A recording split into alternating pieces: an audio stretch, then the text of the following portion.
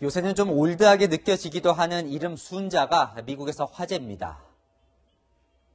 아이고, 손녀딸, 할머니야. 어, 어, 열심히, 열심히, 열심히, 뭐든지 열심히 해야 돼.